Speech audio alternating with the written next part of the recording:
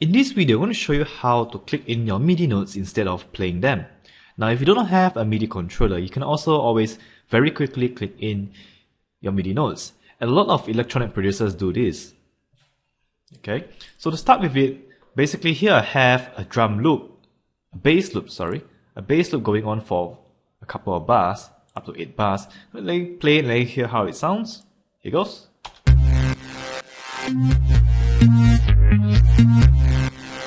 Okay,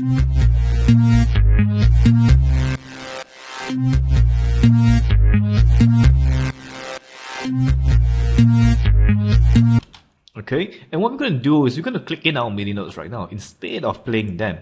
So what you can do is on my second track here, I have drums.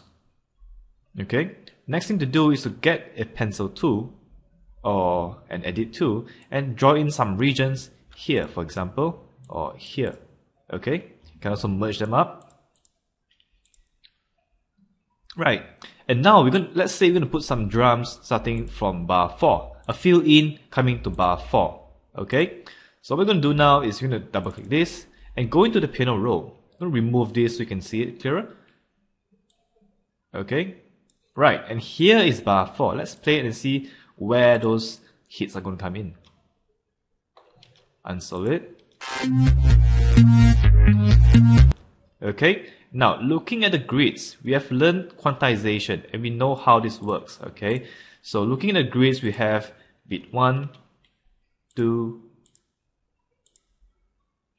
Okay, going to change the quantization to something else, 1, 8, sorry. So we have 1, 2, 3, and 4. Let's change it to 16. So we get more grids to work with. So now, looking at our piano roll right here, you can identify which notes are which. That's a snare, crash, Okay, C1 is there, and C1 is the kicks. So you can find your notes like this, and basically, I've pressed alternate on my keyboard to select the pencil tool. But in your different DAWs, you can also select using the same way I did, or choose the toolbar to draw, or pencil. Okay, I call it a pencil tool. Alright, so we're to draw in things like this. Okay.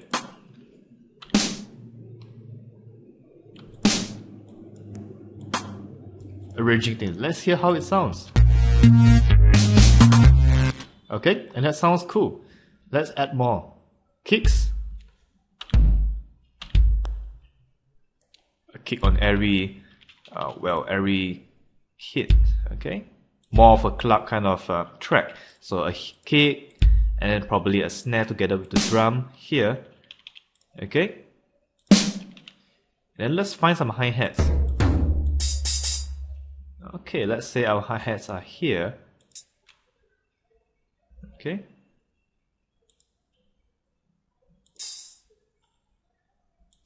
Arranging things like that. So you can on your snap. Okay. Now in Cubase, snap is this one here. And what snap does is if if I go through my piano roll, you can see that the line snaps to the grids. Okay, without snap, you see I can freely put my MIDI notes anywhere, literally anywhere. Okay, so doing this, you probably want your snap on. Okay, pulling it back here. Okay, and basically once you have a pattern, what you can do is you can quickly copy them over like this and get a pattern. Let's see how this sounds. Okay, let's duplicate that. Alright, and of course I can see that my drums are now all in the same velocity. What you can do is you can always draw lines to give different velocities. Okay, a crescendo there. Let's see how this sounds. Maybe a crash here.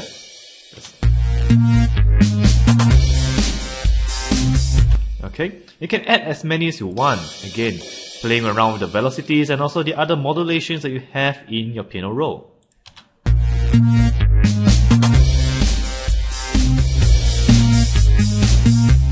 Okay, and so on and so forth. Alright, so that's how you basically click, click in MIDI notes into your piano roll to form an arrangement without a MIDI controller. And many producers, producers electronic producers, uh, producers that produces electronic music like dubstep, dance, um, breakbeat, they do this a lot instead of playing on um, the MIDI controller. There's a lot of producers that don't even know how to play a keyboard, but they can produce music. And basically, this is a great start, I think. Alright, so that concludes this video. I hope it helped you. And if you have a question, please ask me, and I'll see you in the next video.